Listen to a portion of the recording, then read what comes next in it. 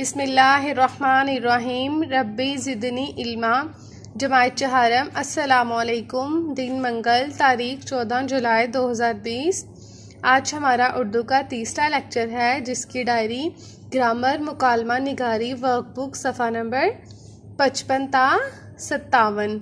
यानी आज हम मुकालमा करेंगे। वर्कबुक सफ़ा नंबर पचपन ता सत्तावन।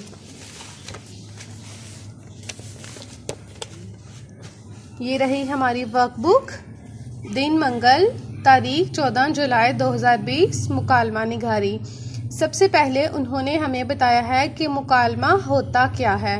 दो या दो से ज़्यादा अफराद की गुफ्तगु मुकालमा कहलाती है।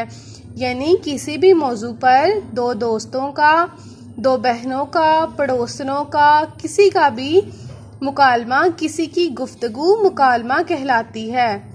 खालिद को फास्ट फ़ूड और बाजारी खानों का बहुत शौक था। दानियाल इसको बहुत समझाता था, मगर वो इसकी बात पर ध्यान नहीं देता था। फास्ट फ़ूड और बाजारी खानों के नुकसान पर दोनों दोस्तों की गुफ्तु मुकालमे की शक्ल में लिखिए यानी उन्होंने हमें मौजू दिया है फास्ट फ़ूड और बाजारी खानों पर गुफ्तु करने का। दो दोस्त, उनका नाम खालिद और दानियाल है फास्ट फ़ूड जो बाज़ारी खाने होते हैं मतलब बर्गर पिज़्ज़ा शवारमा जिन, जिनमें जर्म्स होते हैं, जरासीम होते हैं। अब हम अपने मुकालमे की तरफ़ आते हैं। असलकुम सुबह सुबह कहाँ की तैयारी है? आगे सवालिया निशान। खालिद, वालेकुम मेरी तबीयत ठीक नहीं है। दानियाल, क्यों? क्या हुआ तुम्हारी तबीयत को? खालिद रात से मेरे पेट में शिदी दर्द है, दानियाल तो और खाओ बाजारी खाने और फास्ट फ़ूड खालिद, इसमें फास्ट फ़ूड कहाँ से आ टपका और क्या बिगाड़ा है तुम्हारा बाजारी खानों ने?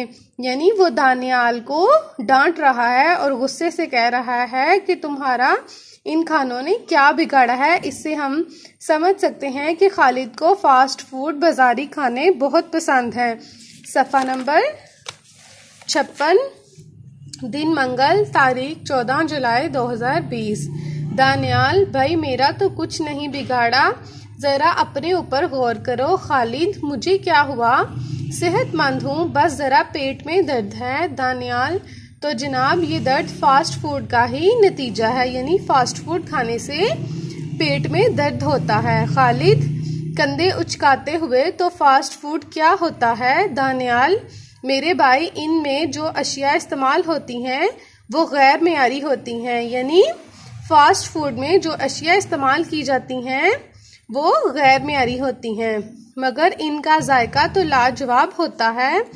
दानियाल, ये सिर्फ़ ज़ुबान का जायका है, दर हकीकत ये सेहत के लिए बहुत मुजर है। अजर है, यानी सेहत के लिए बहुत नुकसानदा है, इसका मतलब है नुकसानदा।